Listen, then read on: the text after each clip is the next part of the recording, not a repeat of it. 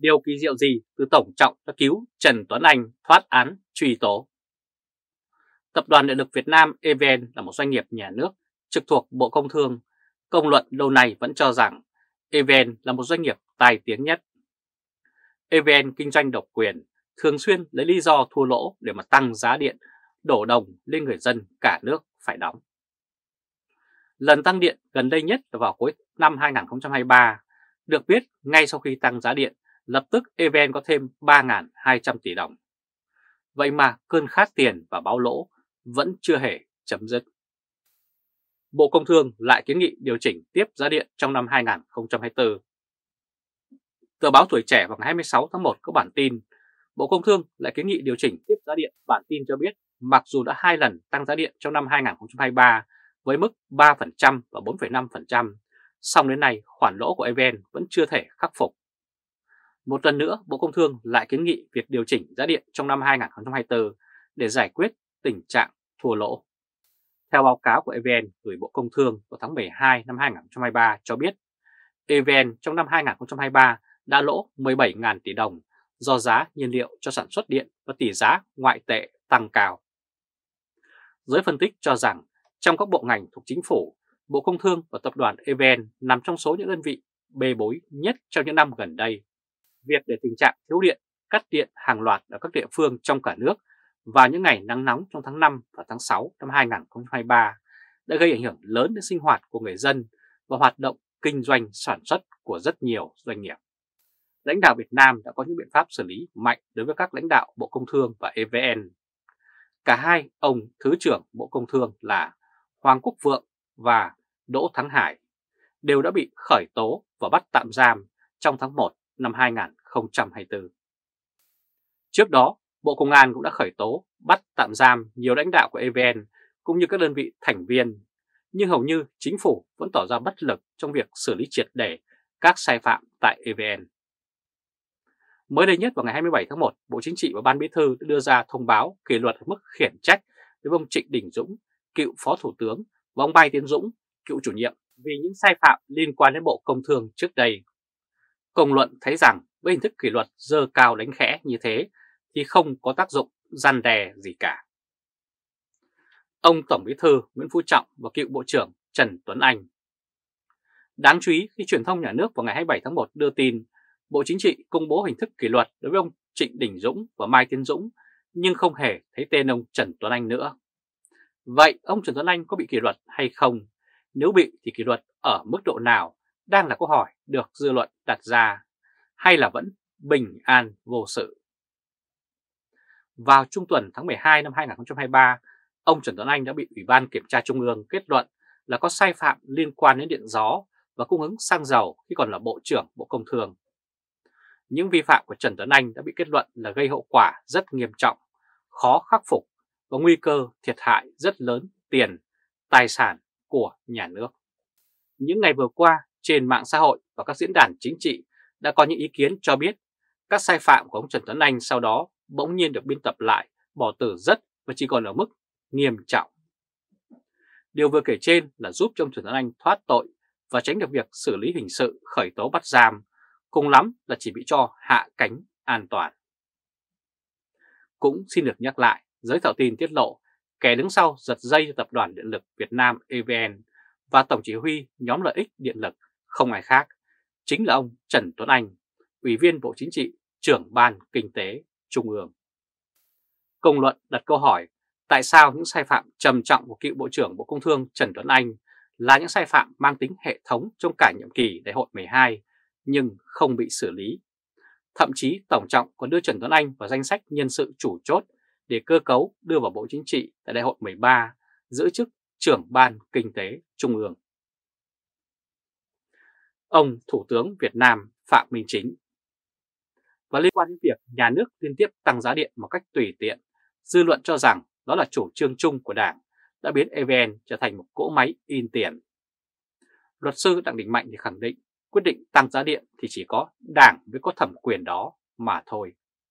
Nhận định đó phù hợp với việc dư luận xã hội vẫn cho rằng một chủ trương lớn của Đảng lâu nay đó là họ vẫn duy trì một con ngáo ộp có tên là EVN sử dụng như một thứ bung sung để chút hết tội vạ kể cả việc tăng giá điện.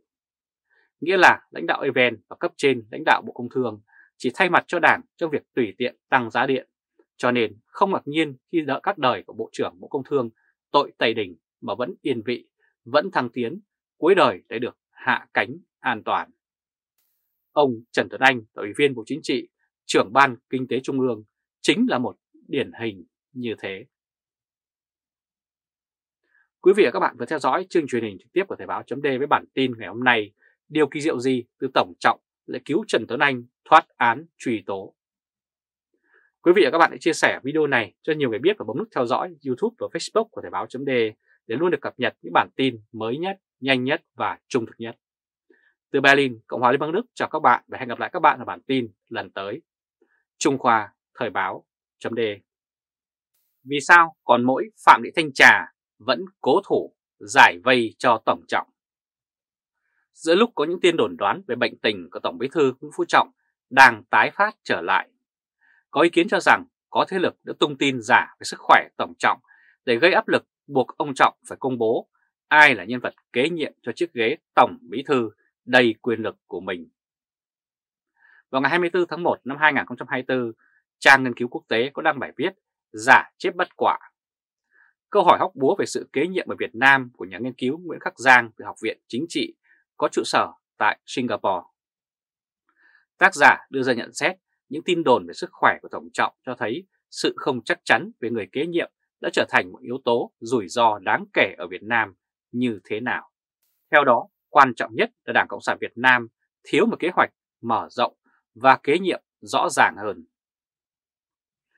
Ông Bộ trưởng Bộ Nội vụ nêu bốn giải pháp lớn về xây dựng đội ngũ cán bộ lãnh đạo quản lý Ngày 26 tháng 1, báo điện tử Vietnamnet đăng bài Bộ trưởng Bộ Nội vụ nêu 4 giải pháp lớn xây dựng đội ngũ cán bộ lãnh đạo quản lý của Bộ trưởng Bộ Nội vụ bà Phạm Thị Thanh Trà, kèm theo lời giải thích và giới thiệu trân trọng. Theo giới quan sát, việc truyền thông nhà nước đăng tải về bài viết của bà Trà trên cương vị Bộ trưởng Bộ Nội vụ là điều rất bình thường. Nhưng bà Trà còn kiêm cả chức Phó ban Tổ chức Trung ương thì là việc đáng bàn. Nhất là trong bài viết, bà Trà đề cập tới công việc chuẩn bị cho đại hội lần thứ 14 của Đảng sắp tới. Tổng bí thư Nguyễn Phú Trọng chỉ rõ xây dựng đội ngũ cán bộ các cấp, nhất là cấp chiến lược và người đứng đầu đủ phẩm chất, năng lực và uy tín, ngang tầm nhiệm vụ. Nếu so sánh bài viết của bà Trà với phân tích của nhà nghiên cứu Nguyễn Khắc Giang thì rõ ràng có một sự trái ngược rất cơ bản. Công tác nhân sự nói chung và nhân sự kế cận thay thế cho Tổng bí thư Nguyễn Phú Trọng cho đến nay là điều cấp bách mà ai cũng thấy. Giả sử nếu lúc này Tổng trọng có mệnh hệ gì thì chắc chắn sẽ có ảnh hưởng rất lớn. Tiến sĩ Nguyễn Khắc Giang cho biết vấn đề người kế nhiệm trở thành yếu tố rủi ro đáng kể ở Việt Nam vì điều này có thể dẫn tới những cuộc đấu đá phe phái gay gắt khi Tổng trọng ra đi, làm suy yếu sự ổn định chính trị tại Việt Nam. Hơn thế nữa, công tác nhân sự của Tổng trọng trong suốt 12 năm trên cương vị Tổng Bí thư của Đảng Cộng sản Việt Nam cho thấy đã khủng hoảng rất trầm trọng. Cụ thể, số lượng các ủy viên trung ương, lãnh đạo các cấp lũ lượt rất tay nhau vào tù mấy năm gần đây lớn cả về số lượng lẫn quy mô và phức tạp, là minh chứng rất khó có thể bác bỏ. Bà Phạm Thị Thanh Trà khi còn là bí thư tỉnh ủy Yên Bái. Điều đó cho thấy chất lượng nhân sự, kể cả nhân sự chủ chốt do trưởng ban nhân sự Nguyễn Phú Trọng chọn lựa là rất, rất có vấn đề. Tại Hội nghị Trung ương 8 khóa 13 vào tháng 10 năm 2023, Tổng Trọng đã bị tập thể Ban chấp hành Trung ương cáo buộc có rất nhiều sai phạm trong việc đưa lọt vào Ban chấp hành Trung ương nhiều nhân sự không đảm bảo tiêu chuẩn theo quy định. Vào ngày họp thứ 5 của Hội nghị Trung ương 8 vào ngày 5 tháng 10 năm 2023, trên trang web của Đài Tiếng Nói Việt Nam VOV xuất hiện bài viết với tựa đề Chúng ta đã để lọt cán bộ không đủ đức đủ tài vào Ban chấp hành Trung ương khóa 12. Bài báo phê phán, ở nhiều nhiệm kỳ vừa qua, nhiều cán bộ không đủ đức đủ tài vẫn lọt vào Ban chấp hành Trung ương. Mà rõ ràng ai cũng biết, Tổng trọng chính là trưởng tiểu ban nhân sự các khóa Đại hội 12 và 13. Phải chăng đây là ám chỉ ông Nguyễn Phú Trọng đã phạm phải sai lầm? Nguyên tắc lãnh đạo của Đảng Cộng sản Việt Nam theo truyền thống vốn có là tập thể lãnh đạo, cá nhân phụ trách Song dưới thời của Tổng Trọng, kể từ sau đại hội 12, nguyên tắc đó đã bị ông Trọng loại bỏ. Tất cả các quyết định quan trọng nhất của Đảng, kể cả vấn đề bổ nhiệm nhân sự, đều do cá nhân tổng trọng toàn quyền quyết định. Trong bài viết khi các ủy viên Trung ương bị bắt sống của nhà báo Mai Hoa Kiếm đăng trên báo Tiếng Dân, tác giả đưa ra một nhận xét mang tính cảnh báo đáng chú ý. Theo đó, ông chia sẻ. Từ sau đại hội 12, Ban chấp hành Trung ương Đảng chỉ còn là cái bóng của Tổng bí thư Nguyễn Phú Trọng. Những gì ông Trọng nói, các ủy viên Trung ương xem như là những nghị quyết. Vấn đề gì ông Trọng viết thì họ tuyên truyền, thổi phồng thành kim chỉ nam.